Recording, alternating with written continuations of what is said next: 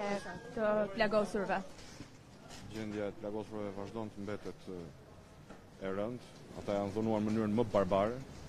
Kam parë disa të moshuar, mosha mbi 70 vjeç, gjakosur nga dhuna me shkopinj dhe me grushta, gratë alivanosura nga përdorimi genocidal i gazit lotsjellës, pra janë një numër i madh banorësh të lënduar, të traumatizuar, një pjesë prej tyre ndodhen të shtruar, një pjesë prej tyre nuk janë të shtruar në spital dhe ne po marrim të gjitha masat për t'i dhënë ndihmën e nevojshme.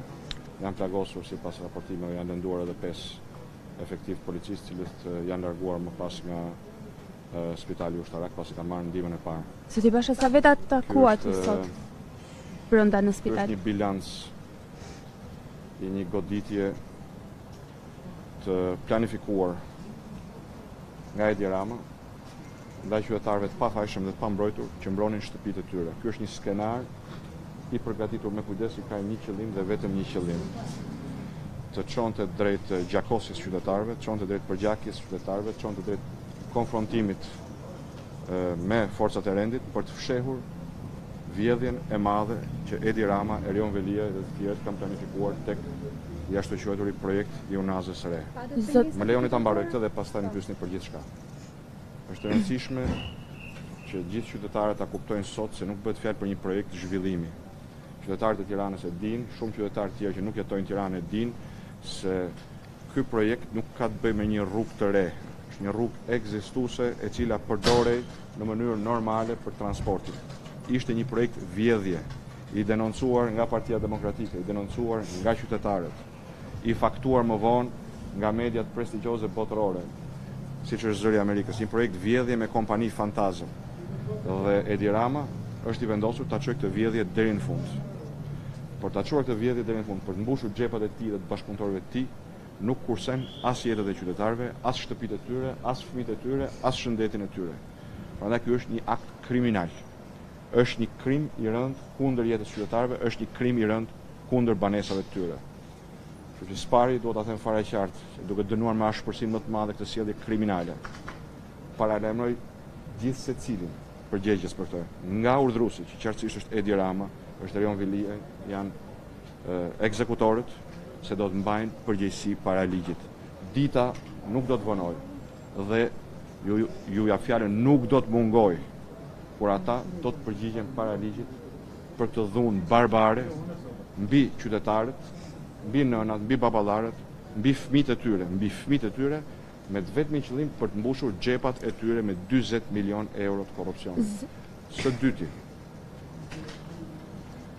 do t'i bëj thirrje qytetarëve dhe çdo punonjësi të ndershëm të policisë që mos të bien pre këtij skenari, i cili synon që ta zhvendosë lajmin nga vjedhja e dyzet milionë eurove nga Edi Rama dhe bashkëpunëtorët e tij tek viktimat apo tek dhuna që ka planifikuar kundër banorëve të Unazës.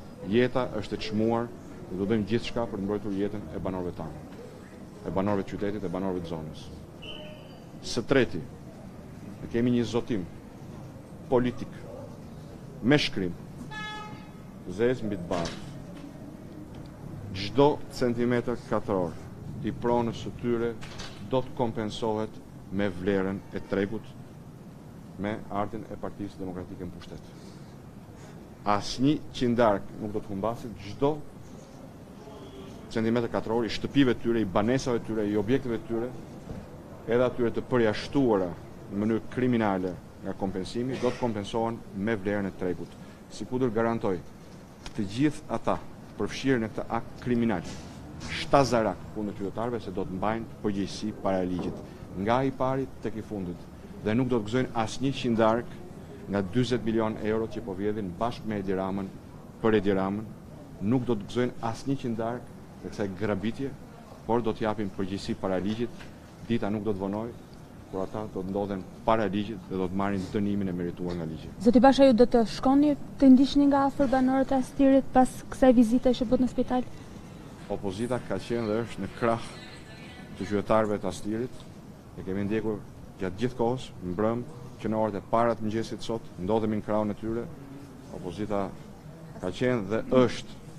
Me ta, njësoj si ta, pa asnjë privilegj, pa asnjë imunitet, pa asnjë mandat, shumë prej anëtarëve të opozitës janë burgosur, shumë të tjerë janë dhunuar, prandaj opozita është njësh me qytetarët për të mbrojtur jo thjesht dhe vetëm shtëpitë e tyre, por për të mbrojtur ligjin dhe Kushtetutën, për të mbrojtur interesin publik, dhe për të bërë gjithçka që është e mundur për të vënë përgjegjësit para ligjit. U penguat tani për të takuar të plagosur?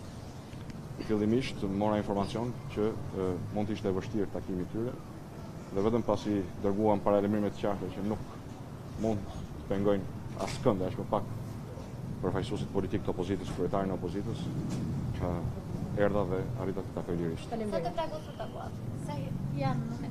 Brenda janë, brenda po marrin trajtim mbi 8 të plagosur, 3 prej cilëve ndodhen akoma në repartin e emergjencës. Ju i takuat që të gjithë? Takova 3 personat në raport në repartin e emergjencës. Në çfarë gjendje ishin ata që takuat? Me plagë dhe me trauma të marra nga goditjet dhe nga gazi. Zoti Basha, faleminderit. Faleminderit.